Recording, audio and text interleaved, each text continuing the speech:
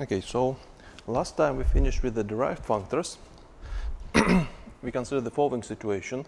Take two abelian categories, A and B. Then we, thought, we saw that on the level of the homotopy categories, so uh, yeah, and let's uh, ch choose a functor, f, functor from A to B. For homotopy categories, there is no problem to define this extension h of f on the acting from the homotopy category of A to the homotopy category of B. But of course, there was a problem to define a functor which we want to call something like a derived functor. So maybe I don't, don't want to write d of f, so the standard notation for this would be something like r of f. This is the derived notation for the derived functor, and this is supposed to be a functor from g of a to the d of b. So this is the question. Can we define this? And the idea that we used last time was the following.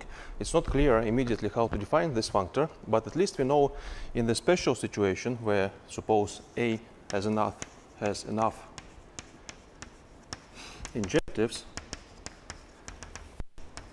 then in this case we know that d plus of A is equivalent as triangulated category to the h plus of A.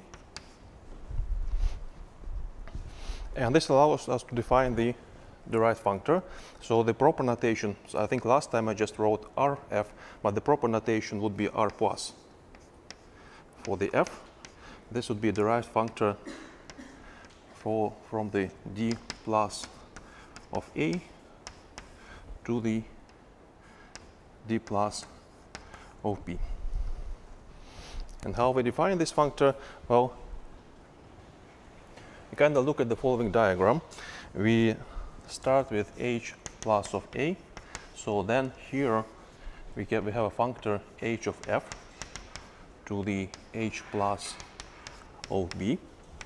By the way, it's, it's not necessary to, to assume that I have a functor between abelian categories. I can start with this functor. I can just say that suppose I have a triangulated functor between these homotopy categories and everything works. It's just a kind of classical setting where you start with a, with a functor between abelian categories, but it's not important for the construction. so here we have two localization functors, q, b, this is the localization functor to the d plus of b. And here we have the, the localization functor qa to the d plus of a.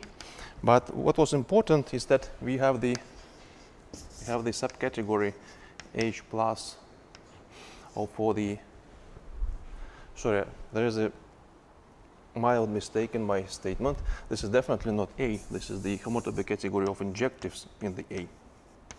So this need to be corrected. Now the homotopy category of the injectives of A. This is embedded into the homotopy category of A. But this embedding is, because we know that this embedding composed with the localization functor gives us an equivalence, so there's a functor going in the other direction, phi. Right? And just by looking at this diagram, we can give a definition for the derived functor R, R plus f. So R plus f. This is the composition, by definition, this is the composition of three functors. So first of all, well, I, I want to, I want the functor acting here, right? So this is where r plus of f is supposed to be. So I need to start with an object in the in the d plus of a. So then I can apply to this object phi, right? So this is my first functor. What I'm doing essentially, I'm just taking an object and I replace this object with the resolution.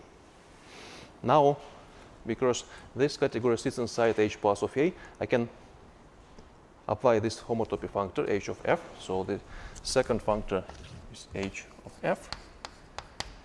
And then, now this give, give me some complex, but I don't want to consider this complex up to homotopy, but up to quasi-isomorphism. So I need to apply q of a to this. And this is the definition. This kind of constructive definition. so that was last time. Now today I want to formulate a proposition I don't want to de define in this course derived functors by universal property, but at least I want to formulate the universal property. So the proposition is the universal property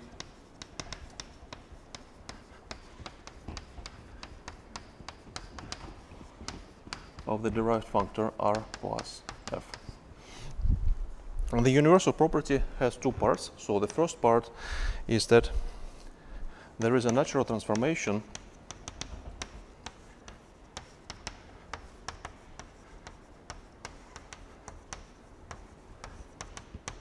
natural transformation between two functors. So the composition of the localization QB and the h of f to the r plus f composed with the qa. So I cannot say that this square of four categories and four factors is commutative in general, but at least I have a natural transformation in one direction. And the second property is that this natural transformation is kind of uh, universal, right? So for any other functor,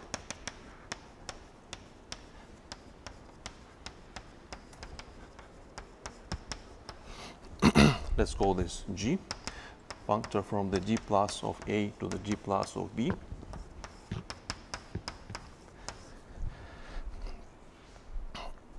So any natural transformation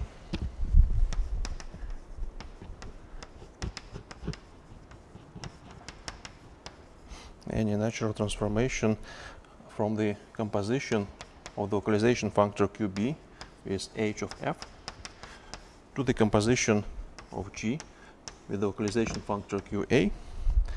So any such natural transformation factors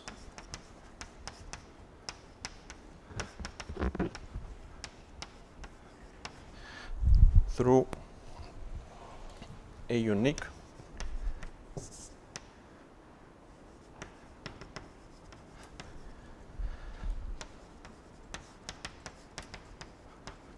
natural transformation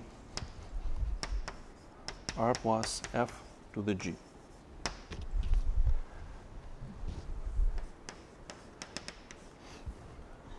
So we're going to prove this statement in the next assignment. So the proof is exercise. It's not that important. We're not going to use this. Well, at least, well, maybe we use this a couple of times, this universal property, but the constructed definition for us will be more important. Okay. That's all I want to say about, yeah, that's not, that's not all I want to say. There is kind of remark so remark is the following. Uh, an exact functor. Now I want to do this in, in general situation. So let's say that in, in, in exact functor f between two homotopy categories.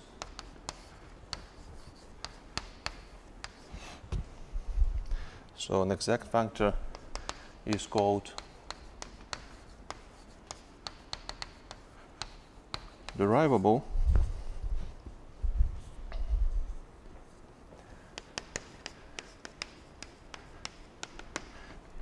if there is a functor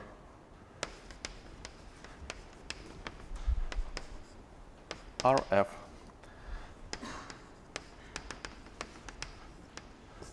satisfying the universal property. So this is how we can define them in general.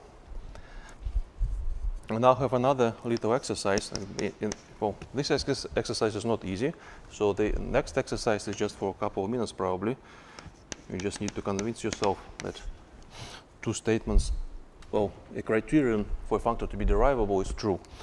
So f is derivable if and only if there is a triangulated subcategory let's call this maybe kf depending on the functor f inside the homotopy category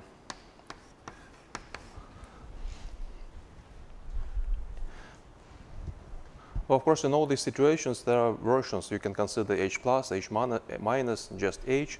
Well, probably the just h is the most complicated case. Let maybe restrict our attention to the h plus. So this will be most important application of algebraic geometry. But I'm going to say something about h minus in a minute. So f is derivable if there is this triangulate subcategory.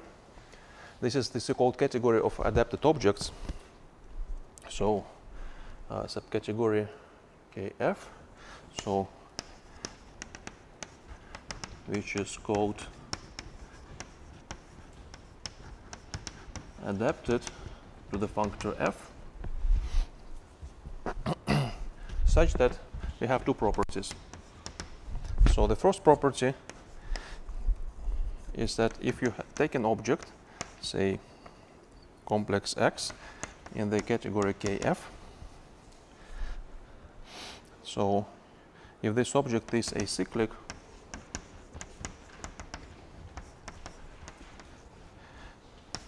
then F applied to this object is again acyclic.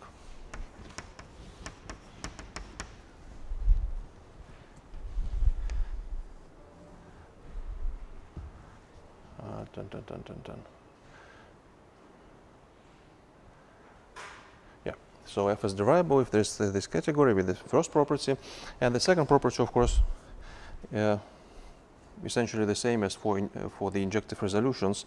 So if you take any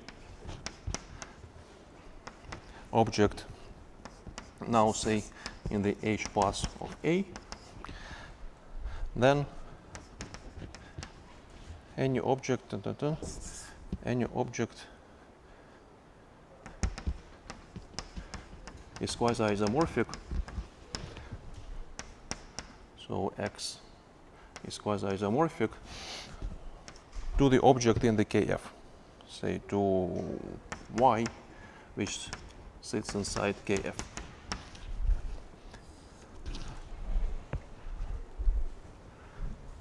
So this is just kind of general definition and general property, but of course we already know examples.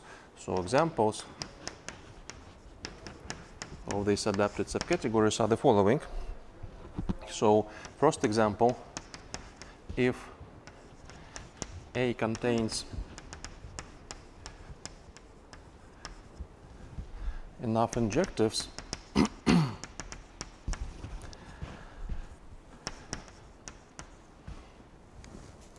then H plus of the injectives in this category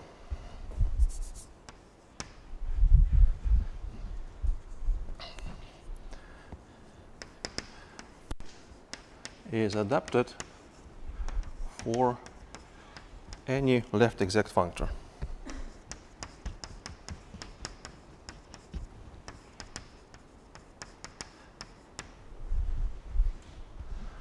So essentially, there's a, another point of view, more general point of view of what we just defined.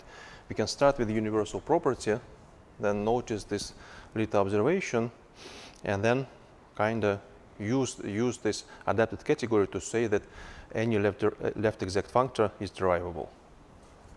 Of course, there's a dual construction where you consider categories with enough injectives, uh, sorry, enough projectives. So if A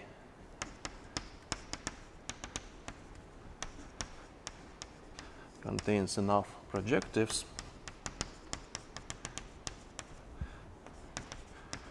then you can take H minus of the projectives in the category A. So the same construction as before will actually tell us that this is equivalent to the D minus of A. Or you can kind of dualize construction and construct projective resolution for any object in the D minus. So if this contains enough, projectives, then this H minus of PA is adapted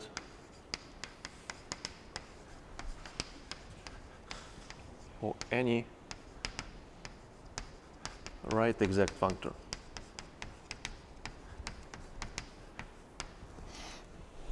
And of course, in this case, well, we will get a functor from the d minus of a to the d minus of b.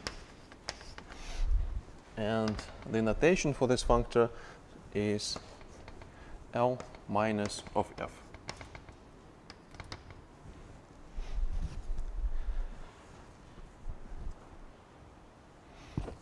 Okay, now this is definitely all I want to say in general about derived functors. So what is the relation between exact functors of abelian categories and exact functors of homotopy categories? Because it seems that if you have an exact functor on abelian categories, there is no problem to extend it. Yes, there's no problem. And I mentioned this last time. Yes, for, for exact functors, the, you immediately, because exact functors, well, one of the definitions would be that these ma they map a, cyclic objects to acyclic objects, so immediately you'll get the commutative diagram of this. So if a functor between homotopy categories is exact and is deduced from a functor between abelian categories, it is not necessarily true that this f is exact No, th this function is always exact for any additive f. for any additive f, f yes.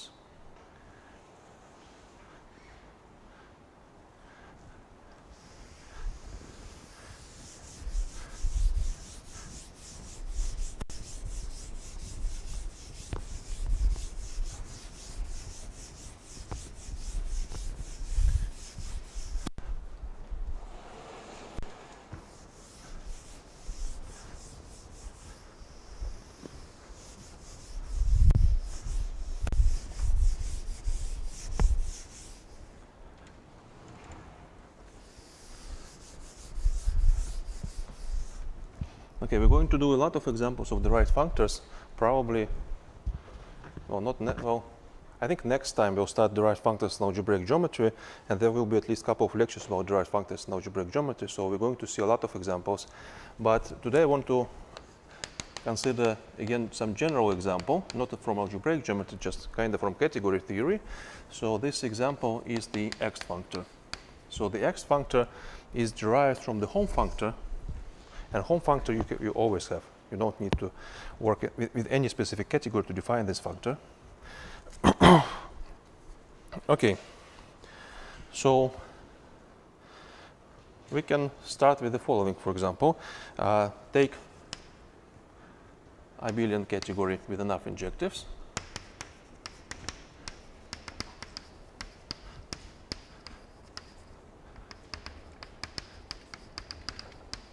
And fix an object. So A is an object in the category A. So I'm, I'm trying to write this differently for the object and for the category. so then we have the following functor, Hom, where I fix the first argument. First argument is just object A. So of course I take the Hom in the category A.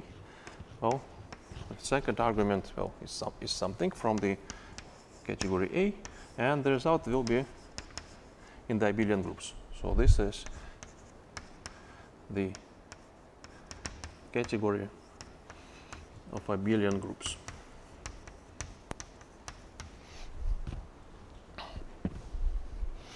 Now I can take this functor and derive it. Right, so there is the derived functor, say r plus Hom as a functor with a fixed object A. So as a functor, this is a functor from the derived category D plus of A to the D plus of the abelian groups. And finally, you can define Ext. Again, the terminology is that this is sometimes called the total derived functor.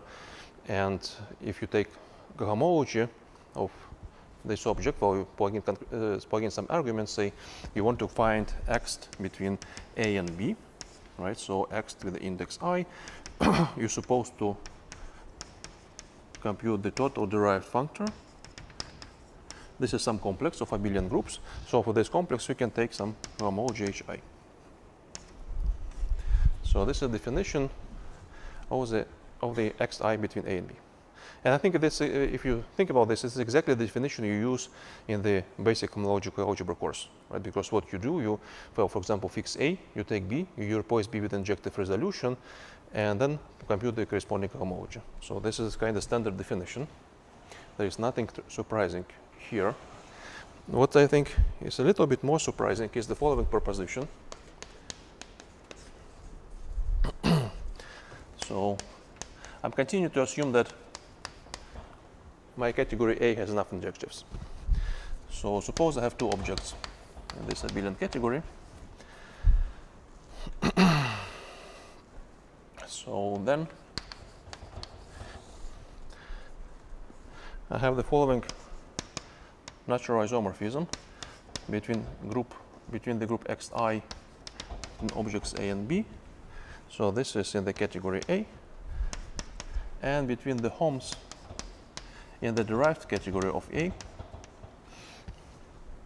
between object A and object B shifted by I. Right, the same A, the same I that we have here.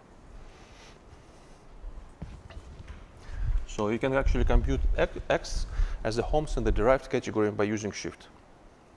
And by the way, this is sometimes used for notation before I prove this in any triangulated category, say T, if you take two objects, say A and B in T, and if you want to define the Ext i between two objects in the any abstract triangulated category, you can just by definition say that this is the hom between shifted objects.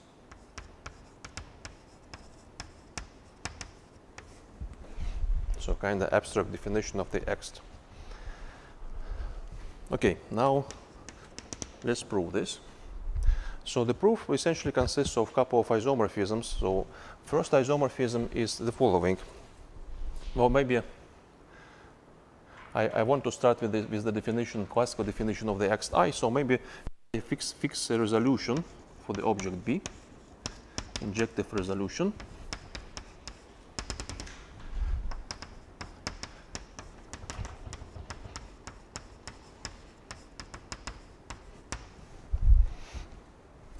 First I cl cl claim that the following isomorphism is, is true.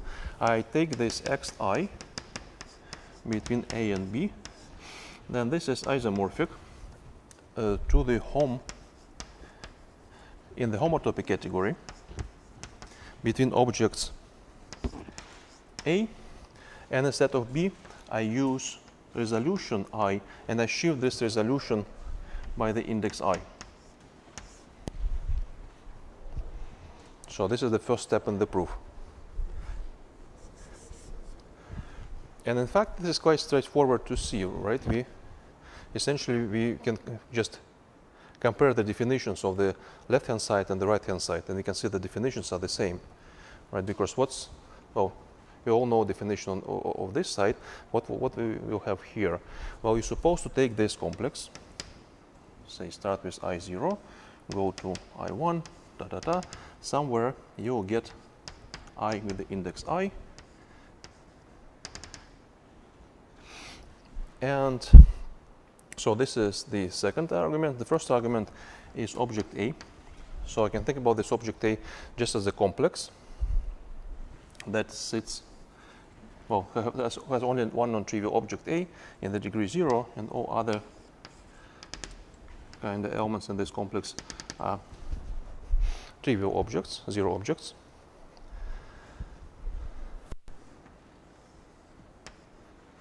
Now, how I can compute this hom in the homotopy category? Well, I'm supposed to have maps like this, right? And all the squares has to be commutative. But maybe I need to write i with the index i plus 1 and also i with the index i minus 1.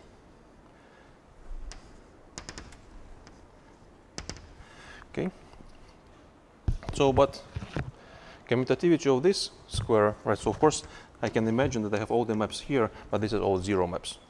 So, essentially, the commutativity of the map means that this composition is zero, right? But then I have to, if I want to understand this hom and the homotopy category, I need to take a quotient by the maps that are of the form large D of H, right? By the definition. We define the hom in the homotopy category as the kernel of this T module, the image of this large T. But this means that this H well, this h has to has to be of degree minus 1, so the degree of h is minus 1. So that's a map like this. So, of course, I can try to draw another map like this, but it will be just a zero map. It won't give me any contribution to the differential. So essentially, I need to take the maps from A to II, such that this composition is zero. And then I need to take the quotients by the maps from A to II, such that I have a I can factor these maps through the previous object in the resolution, i with the index i minus 1.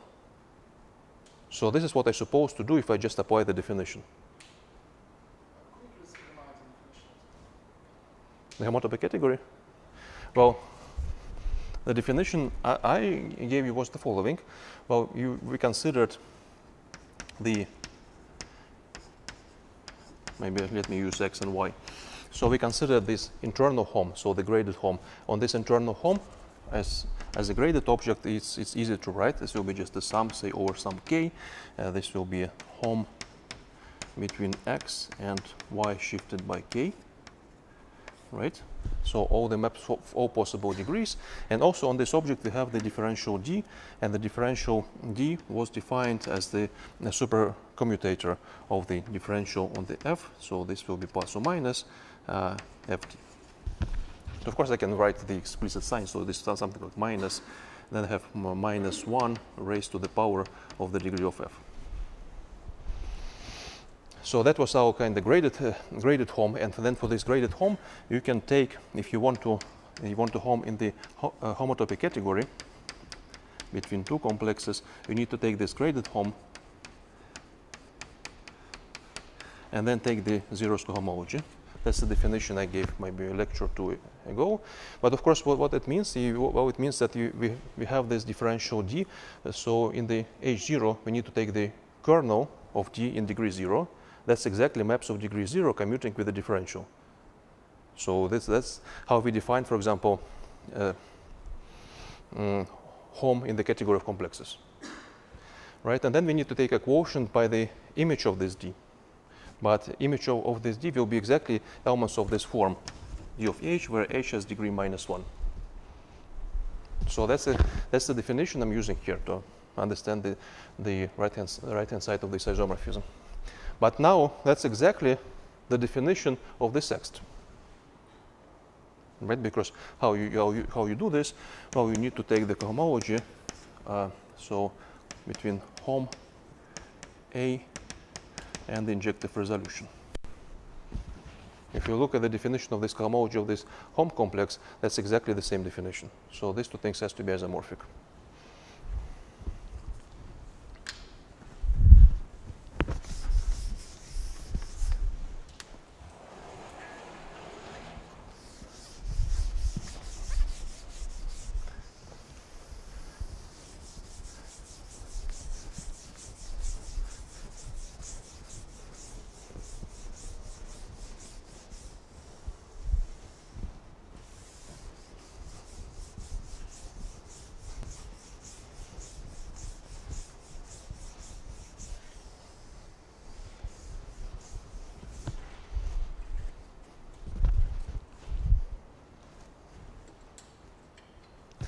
Okay, so the next step is to notice the following isomorphism. So if I take hom in the homotopy category between A.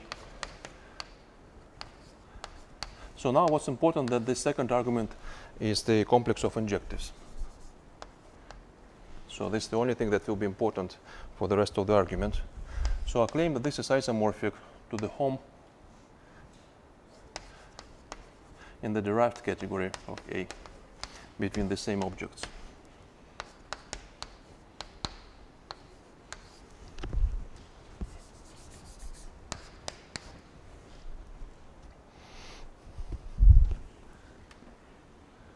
Okay, so how are you supposed to compute homs in the derived category? Well, starting from the definition, you need to, uh, to do something like this. You take A, then you replace this using some quasi-isomorphism with some object t.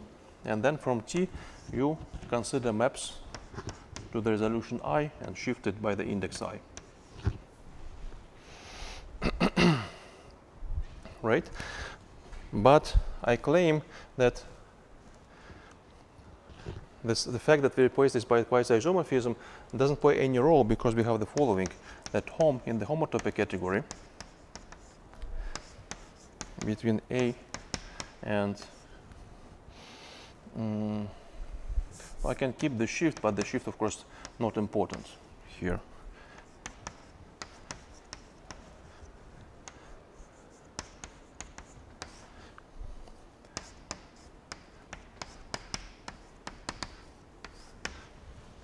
So in the homotopy category, if I replace the first, well, if the second argument is the complex of injectives and the first argument are two objects which are quasi-isomorphic, which is the case in these situations, then the hom is the same. And again, okay, so if we believe in this fact, then we essentially done, right? Because we reduce to this hom. So if I call this hom star, and I can continue star. Now I have a hom in the derived category. So if I replace the second argument by the isomorphic object in the derived category, I will definitely have the same hom. So this is hom d of a, a, and now this will be, be shifted by i and be done. So the only part which is left is this statement. And again, I claim that essentially you know the statement from the basic homological algebra. So maybe to be completely precise, I can formulate this as exercise in two versions. So the first version is what we need. Um, maybe maybe let, let, let, me do even more general. So this this hom in the homotopy category is just the zeros cohomology. So it's here of the internal hom. So maybe let me formulate exercise for the internal hom. So if I have a map from A to B, which is quasi-isomorphism, and I is a complex of injectives then I claim that this quasi-isomorphism can be extended to the quasi-isomorphisms of the internal homs or graded homs. So the hom, so the graded hom between A and I, maybe I need to put dots everywhere for complexes. This is quasi-isomorphic to the hom B and I. So this is quasi-isomorphism. So say this is the first part of the exercise, but I think it's a little bit more convenient to prove the second part, and the second part immediately implies the first part. It says the following. So if A is acyclic complex and I, as before, is the complex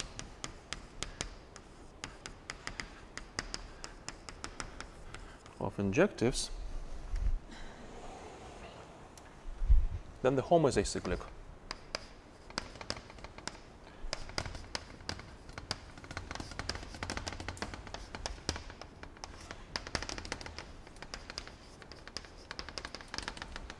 So it's not hard to see that 2 immediately implies 1, but to prove 2 you need some kind of standard arguments from the homological algebra. There's nothing surprising here. So I'm going to use this uh, exercise in the, in the proof, and I'm also going to use this a little bit later today.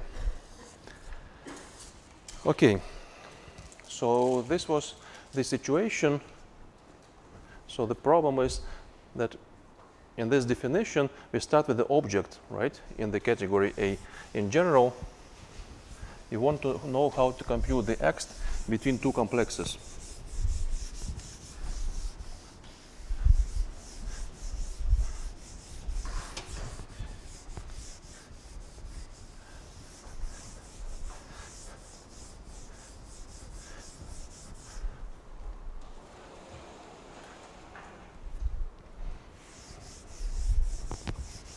let's try to repeat the same construction. but instead of taking A in the category, abelian category A, I take any complex. So A now is the complex with objects in the abelian category A. I can define Ext again. So now I have the derived functor of the R hom with the dot, so the internal R hom. Fix, I fix the first argument, the complex A, and derive with respect to the second argument. So this will be a functor from the D plus of the category A to the D plus of the category of abelian groups.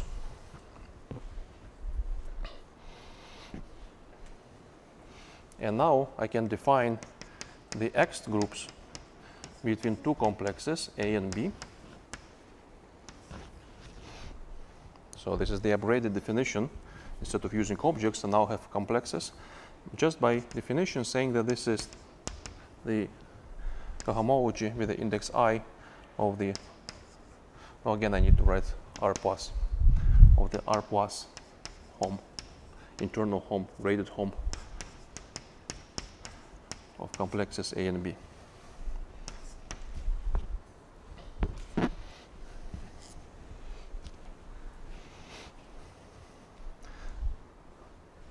So I claim that you think about this, you can prove actually the same statement. So the proposition is still true. So the Ext between i, uh, sorry, Ext with the index i between complexes A and B is isomorphic to the hom in the derived category of A between objects A and B shifted by I.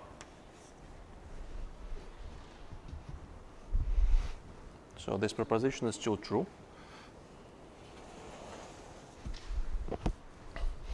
Now, there is a little remark about this. And this remark also follows immediately from the previous exercise that if you take A1 and A2, and this is a quasi-isomorphism between A1 and A2, right? So if you try to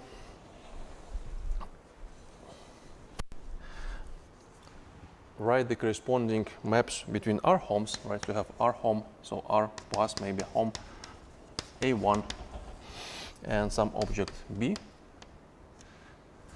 Uh, actually, this goes in the other direction, so this is A2. And I have a map to the R plus hom A1 and B.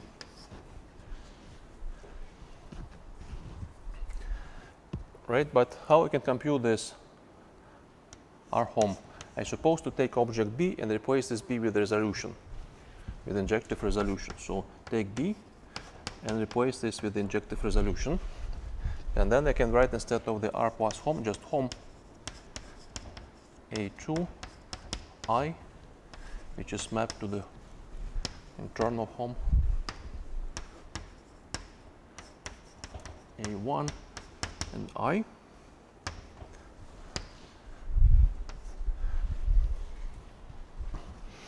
But now we know this is quasi-isomorphism. The second argument is the complex of injectives.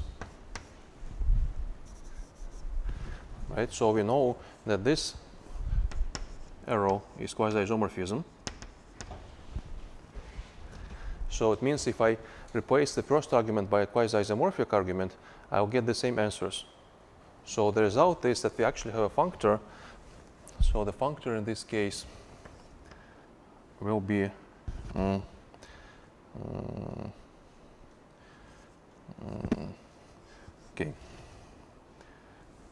So maybe I can write this like, like this r hom plus, uh, sorry, r hom bullet of the a arguments a and b. This is as a bifunctor, a functor defined on the d of a. Now in the first argument this is contravariant, so I need to write opposite.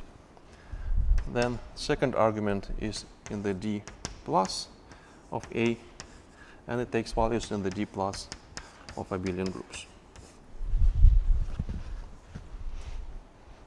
So we get the following bifunctor.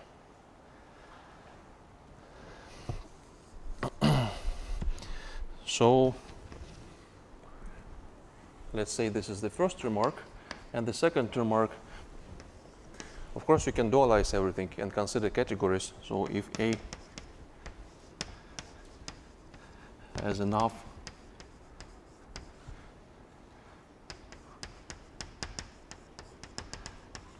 projectives then we can define functor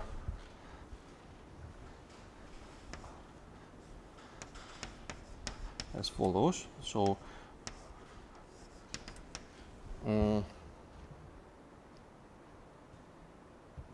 I don't like this notation because here I fix the arguments. So maybe it would be better if I just don't write arguments and take this as a bifunctor.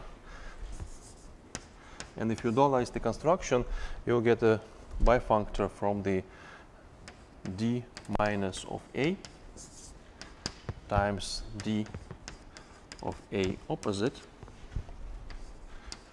to the D minus of AB.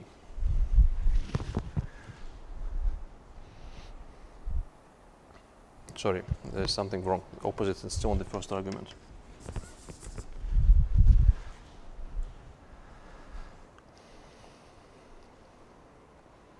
Okay, I think this now makes sense.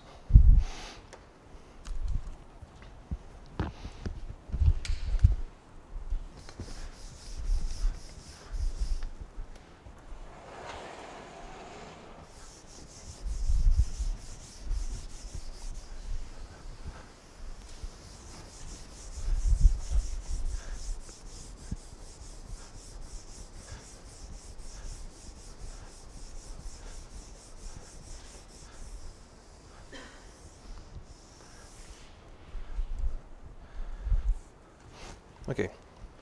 And the final remark about the Ext is the following, the Yoneda product.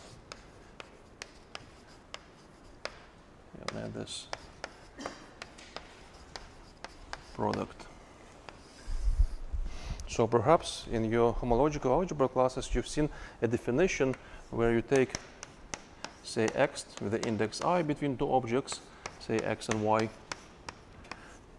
then another element in the Ext j between objects now y and z. And there is a so-called Yoneda's product which give you an element in the Ext in the Ext group with the index i plus j and objects are x and z.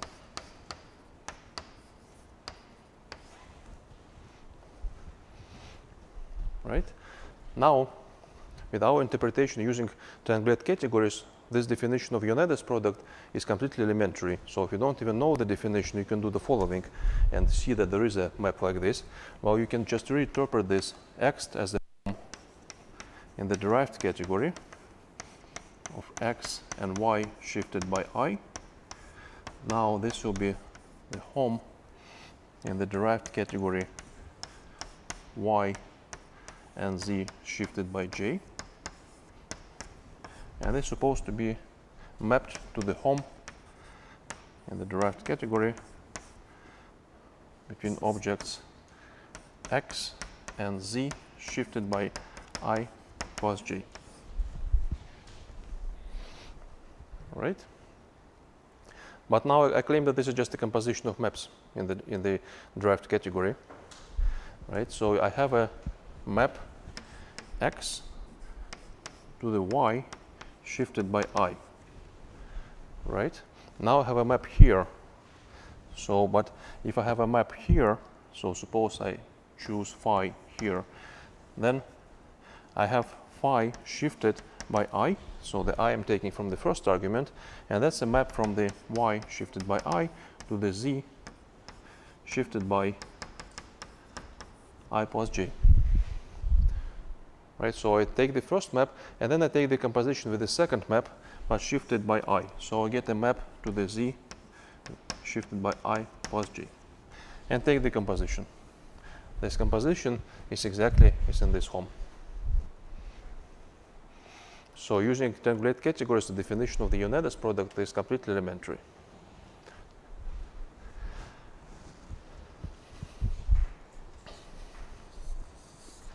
Okay.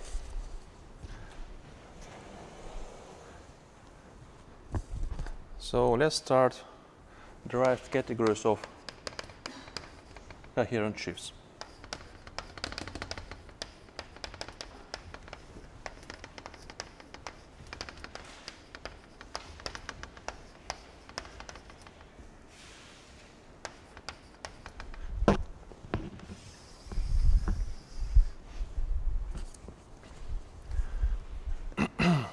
So first of all, I assume once and for all that all my schemes are Noetherian. So all schemes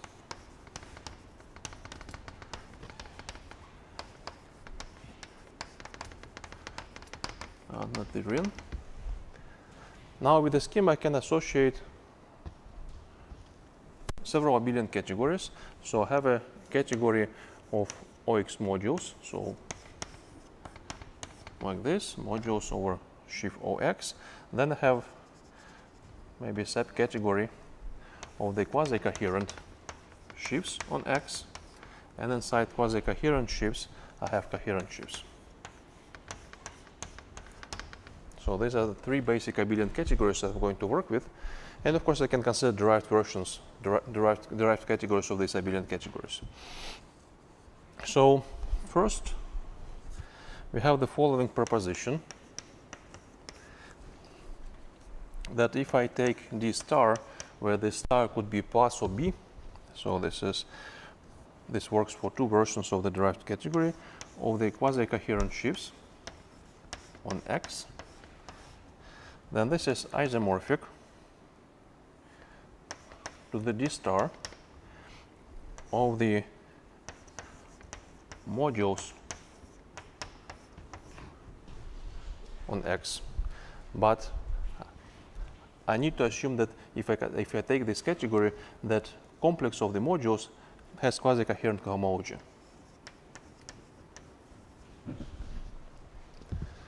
So where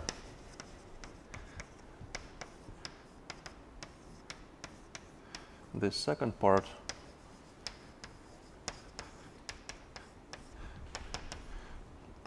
is the derived category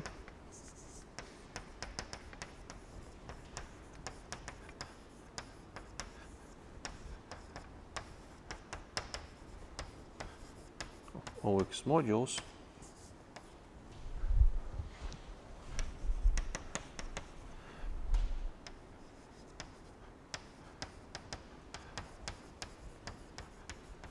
is quasi-coherent homology.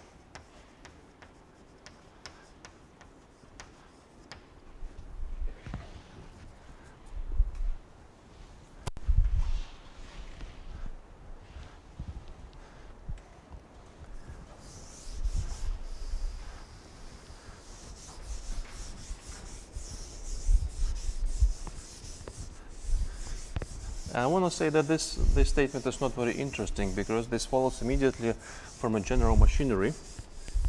And general machinery could be formulated as an exercise. So, but, uh, it, well, there are no new ideas in the proof of this exercise. You can go back to the definition of the resolution and try to do something like this, and this, that would be a solution for this exercise. So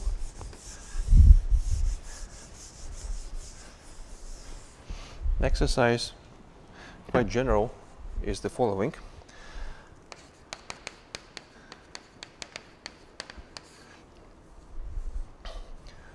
Now, let me take a fixed subcategory in the abelian category B. So let A be a thick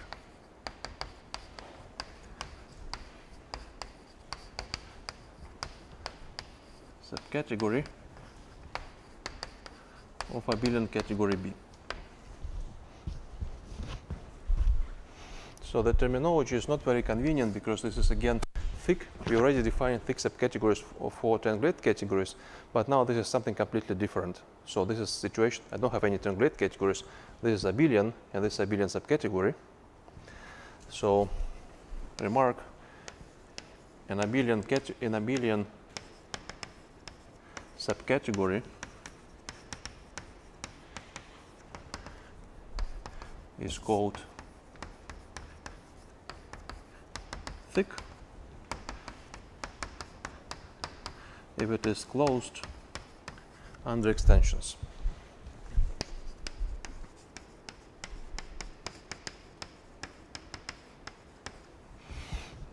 Well, namely, you have the following. If you have short exact sequence, and you know that x prime and x double prime are inside A, then the conclusion is that x in the middle is also in A.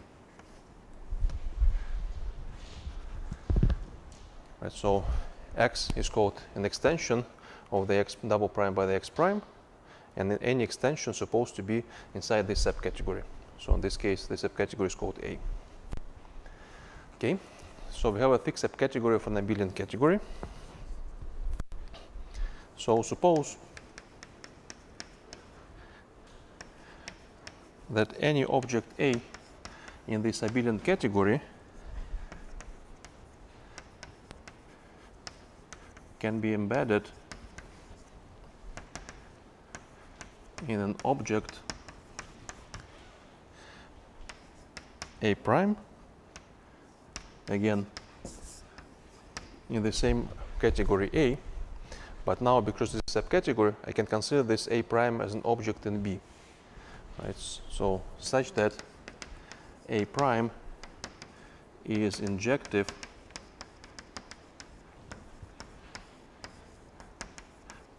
as object of B.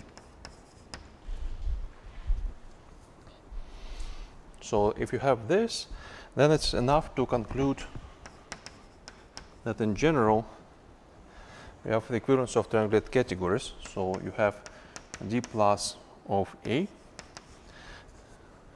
So this is clearly can be embedded into the category D plus of B. But now, as before, I want to assume that my cohomology of the complexes of objects of B belong to the subcategory A. And they claim that this embedding is actually an equivalence of triangulate categories.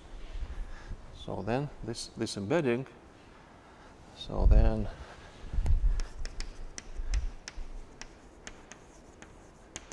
the embedding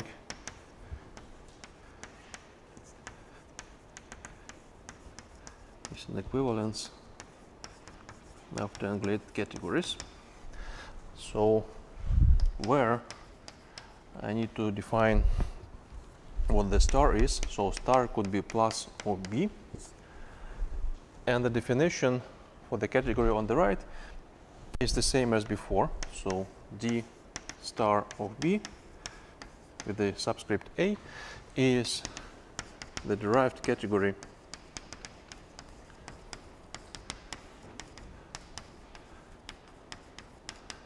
Of complexes objects of A.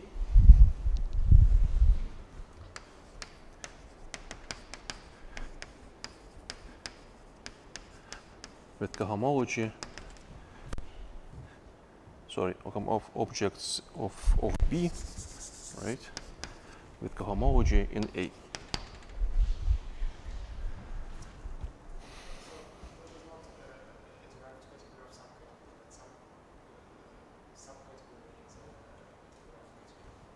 Yes, so this, you, you, you take derived category of P, and inside this derived category, as triangulate category, you can consider a special subcategory with this additional condition. So if, if you kind of try to do something more general than this, or maybe something of another type, it's, it, it, it's not clear that objects of this type will be derived categories of something, but it is derived category in this situation. So this derived category of A.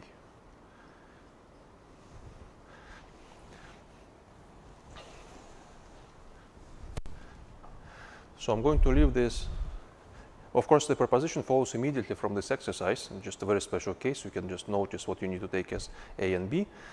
So because this is general, and idea for the proof of, for this statement we already know, I'm going to leave this as an exercise, but instead I'm going to prove something else which doesn't follow from some general machinery, which is a specific statement about coherent shifts. so this is the following proposition. You can take the dB of x. What's the dB of x? Well, maybe before I even formulate the proposition, let me just say that I have notation. So what's the dB of x? Well, this is by definition just a short notation for the dB of the coherent shifts of on x. So there will be several interesting statements about this particular triangulated category, so it's very convenient to have some short notation. So proposition is the following,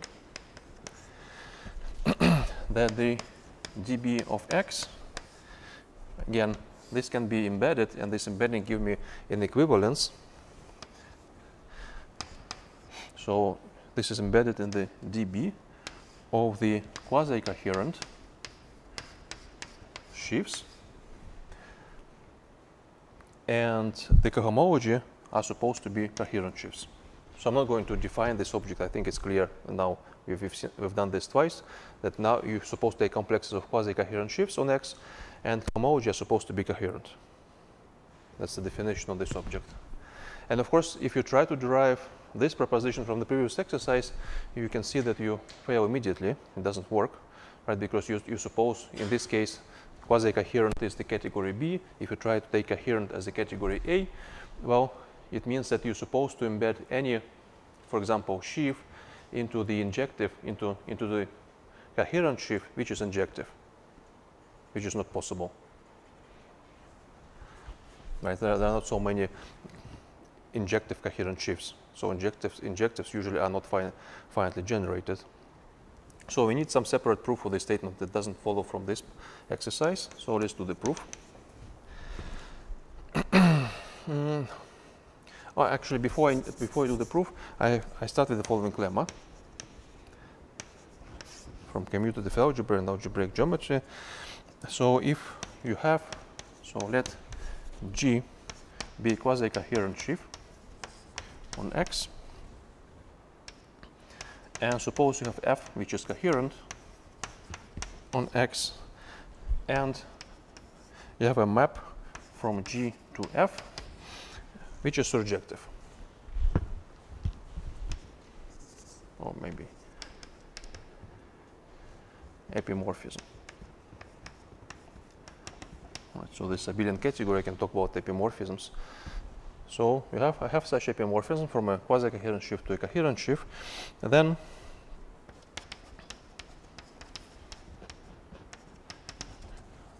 there is a sheaf G prime, which is coherent on X, and G prime sits inside G, such that if you consider the composition, right, so you have embedding of the G prime into G, and then G is mapped to the F, right? So this composition is still epimorphism.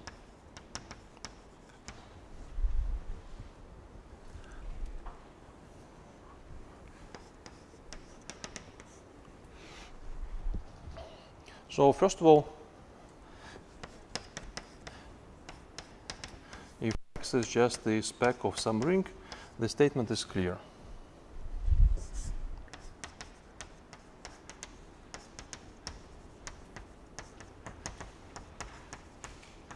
So this statement now will be statement for modules, and for modules this is clear, right? If G and F are modules, well, you can can take finitely many generators for the F, take the preimages and, and see what the preimages can generate inside G.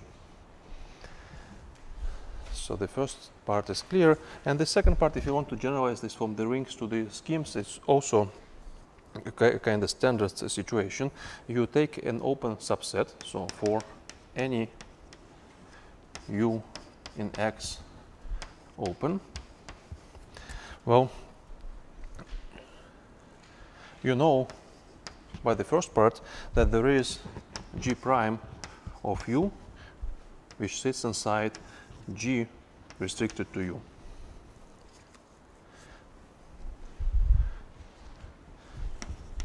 So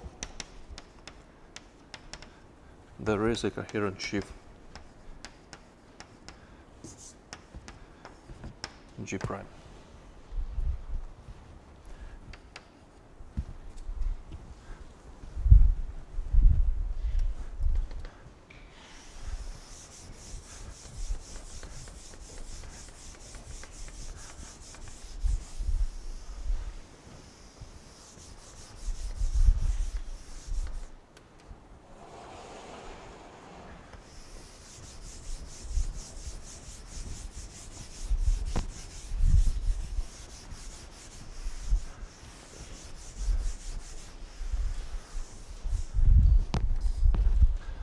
So now we need to prove this, the proposition. so let me introduce some notation. Suppose I have some complex G. So this is a bounded complex. So I suppose that it is 0 until I reach some uh, Gn. So then there are several non-zero objects up to some Gm. And then after m, I also the rest will be, will be again zeros.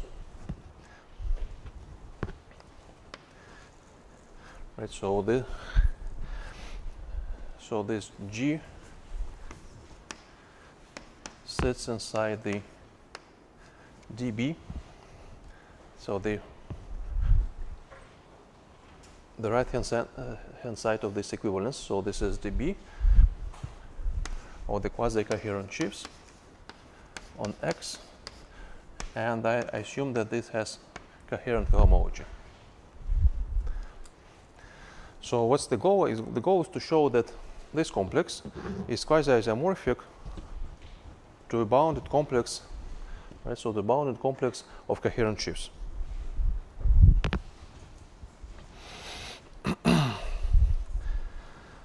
okay, so the proof is by induction.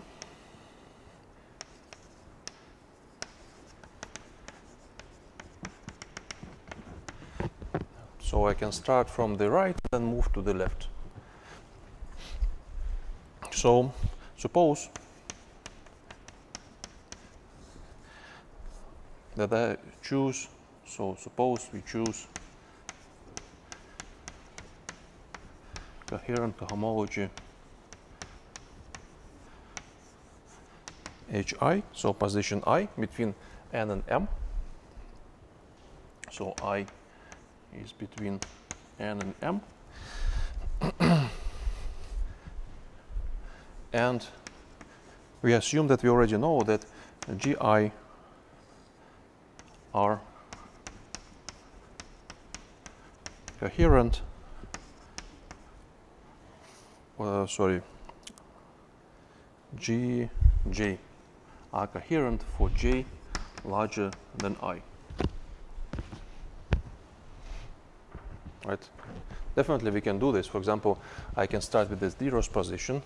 So then I can assume that this is coherent sheaf, Well, zero, zero sheaf is coherent. So then the argument that I'm going to do, going to show to me that I can replace this complex with another complex, which is quasi-isomorphic, but here in the position GM, I'll get some, something finitely generated. But instead of doing this first step, I'm just going to do in general, the general step, and of course the base of the induction will be just a special case.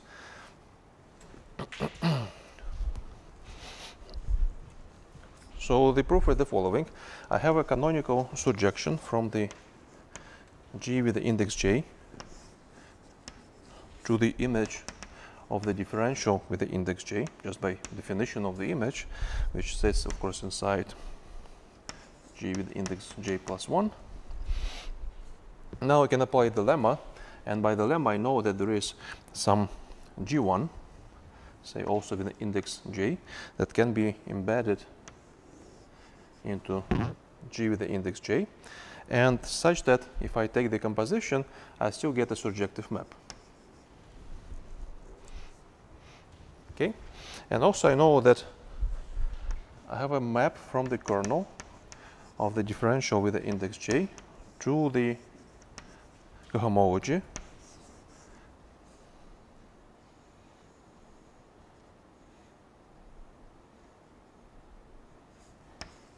with index j. Now I do the same thing. In, in I choose some g2 with the index j, which is finitely generated or coherent, sitting inside the kernel, such that the composition is still surjective or epimorphic. So this G1, J, G2, J, they are coherent on X.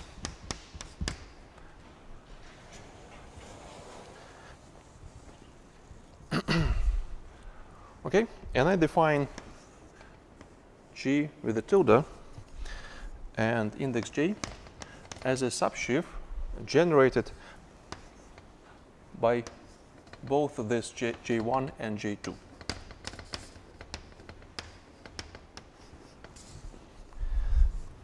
So clearly this sits inside by construction inside G with the index J. And I also define G with a tilde with the index J minus 1. So is the preimage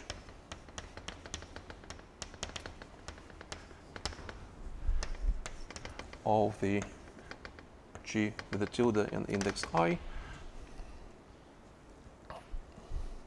under the differential. So under the differential from the G with the index J minus 1 to the G, J.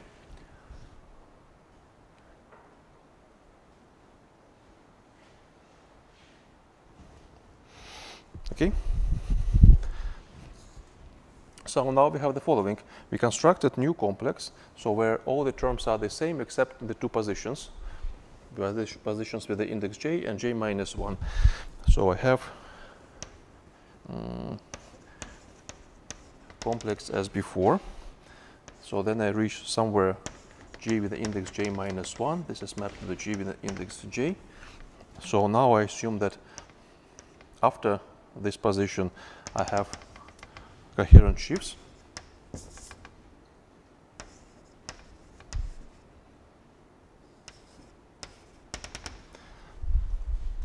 So I keep these objects the same.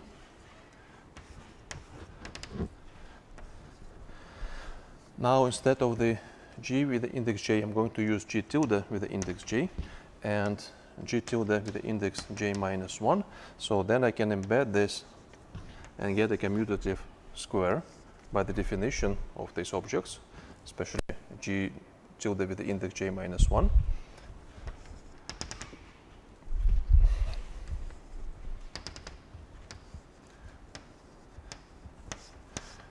And the rest of the complex is the same. The rest, I mean, on, on the left and on the right.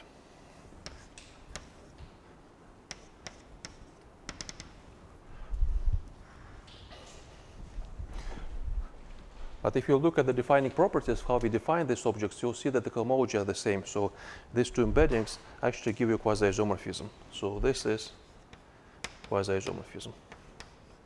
And we just continue doing this until we reach position, position n, and we'll get a quasi-isomorphic complex of coherent sheaves.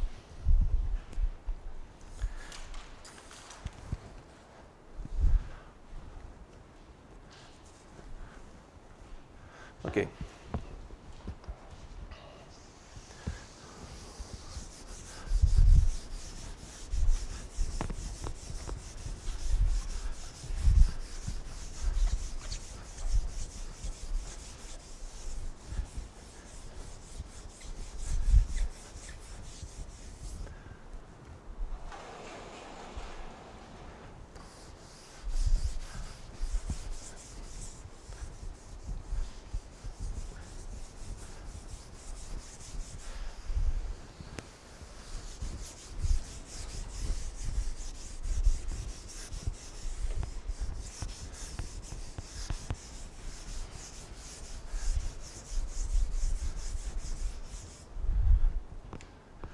So next we're going to discuss the following topic, Serre duality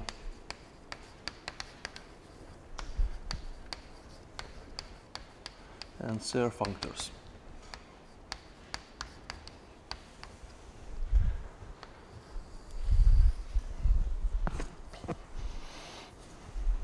So in this section, well, we start with the Serre duality. I'm not going to prove Serre duality, of course. I'm just going to use the use it and interpret as in some abstract form that we have some functor with some properties, and this ca can be done. So this abstract functor can be defined actually on any k-linear category with fine, fine dimensional Homs, uh, Homs vector spaces, and we're going to see that if this category is triangulated, then the func uh, functor is automatically exact.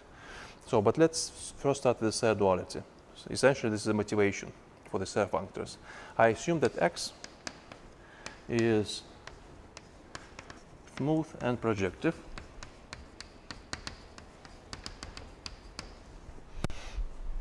So then I assume that you know the following form of the Serre duality, that if you take Ext group between two sheaves, say E and F, Uh, x with the index I, then this is isomorphic to the Ext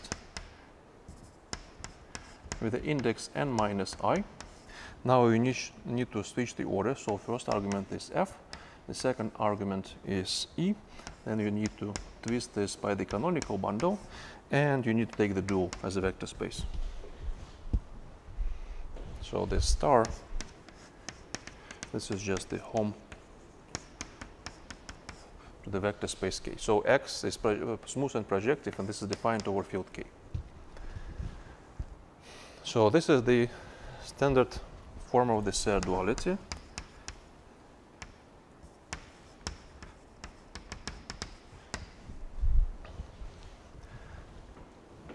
Well, first of all, I claim that this is still true if instead of sheaves, I consider complexes of sheaves.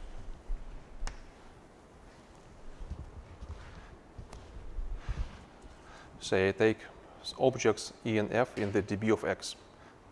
So complexes of coherent sheaves. This is still true. But also, yeah, by, by, by, the way, maybe I need to say what omega x is.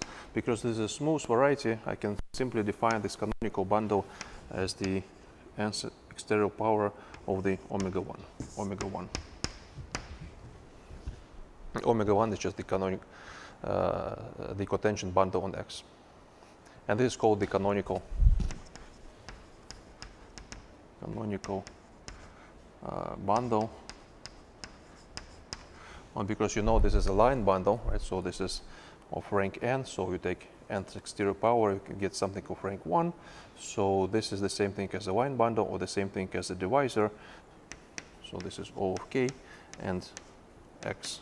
And this kx is called the canonical class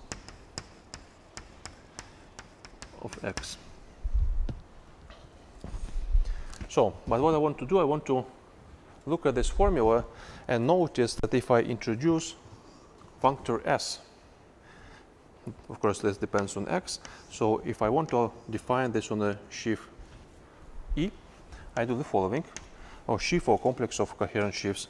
So I take this complex of coherent sheaves, I take the tensor product with omega x, and then I shift everything by n.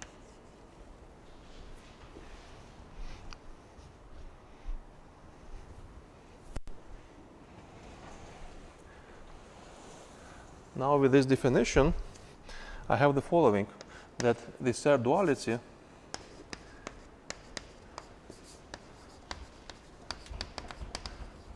equivalently, this is exactly the same formula, will be written as the Hom in the derived category. So mm, I need to write something like dB of x, Hom in the derived category, category dB of x between E and F is isomorphic. Of course, this isomorphism is natural in the both arguments. So to the hom in the dB of x. And here I have first argument is f, and the second argument is the functor s applied to the e. And I have dual. So we have this. And now this is a motivation to give a definition of an abstract Serre functor. So this, this, this will be an example of a Serre functor on a triangulate category. So abstract definition is the following. So let A be a k-linear hom finite category. So hom finite means that if you consider the dimension of the hom, so k-linear means that all the hom spaces are vector spaces over k, and hom finite means that if you consider if you compute the dimension of such homs, then this is some finite number. So all the homs are finite dimensional vector spaces. This is the definition of a hom finite category. So you can see that the definition that I'm going to give quite, is quite general. I don't assume that something is abelian or triangulated. It's enough to have k-linear hom finite category. so Serre functor on the category A is an equivalence, k-linear equivalence.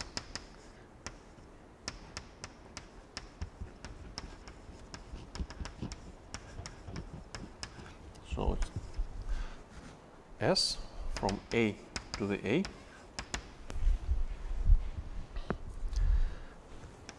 such that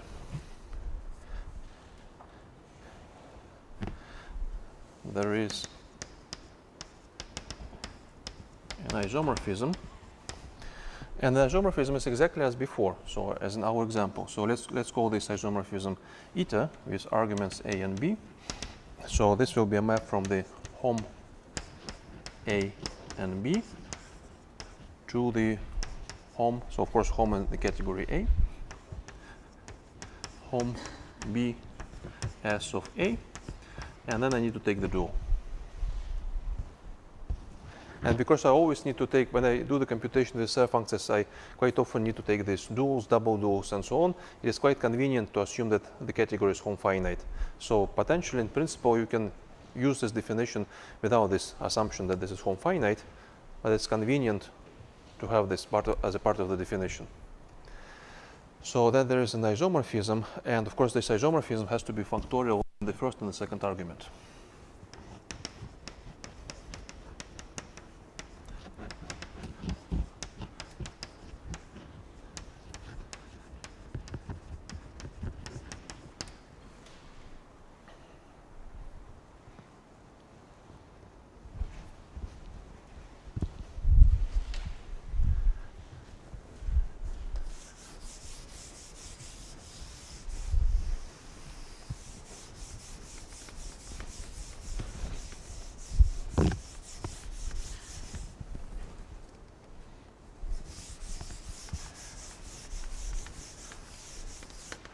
So it looks like I have only three minutes left, so it's not enough to prove the next proposition, but it's enough to discuss one remark.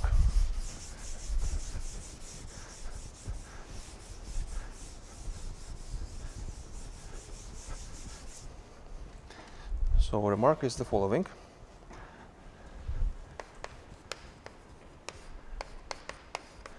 If x is projective,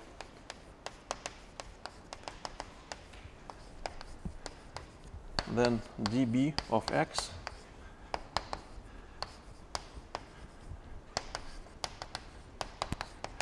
is hom finite. Right? So this is quite famous theorem from algebraic geometry. So probably you know this theorem in the following version. So in particular, what you probably know, uh, the following is true that if you take some, say, cohomology on a projective variety with a coherent sheaf, so F is coherent, then the cohomology space is finite dimensional, right? So this is something that you prove in algebraic geometry. It's not a trivial statement, but what would be the next step? Uh, of course, the cohomology it's just a special case of the Ext.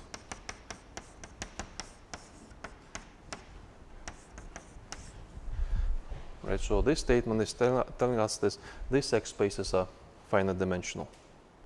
Now the next step would be is to show that actually Ext, say i, between two coherent sheaves is finite dimensional.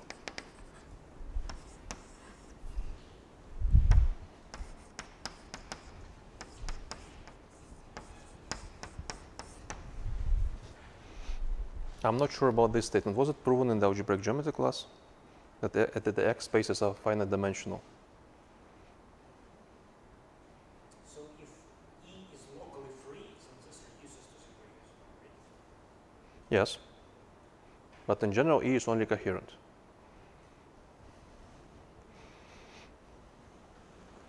So maybe this is something to think about. Maybe if you review your argument how you can prove this, maybe it would be enough to prove actually this. So, question mark. But now, well, actually, what we need to show is we need to show that the Ext, not between two sheaves, but the two complexes of coherent sheaves, is finite dimensional.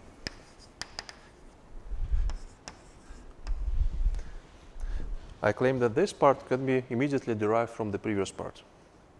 And this is the st- standard sequence, uh, standard spectral se- sequence argument. So we just consider a spectral sequence that goes as follows. So E2 page with position P and Q is the Ext P. Then you take the cohomology H at the position minus Q of the E. And this is converges to the Ext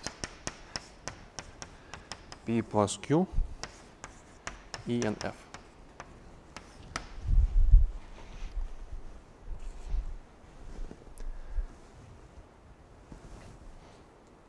So I'm not going to prove anything, uh, any of these statements because, well, if you don't know spectral sequences, it won't make any sense. If you know spectral sequences, it's probably already obvious that this works. So probably I suggest if you don't know anything of this, you start here. You, you try to learn the proof of this statement, then you try to generalize this to this statement. And this is not an algebraic geometry statement. This is a very easy statement about spectral sequences. So okay, anyway, this is something to think about why this is a hom finite category.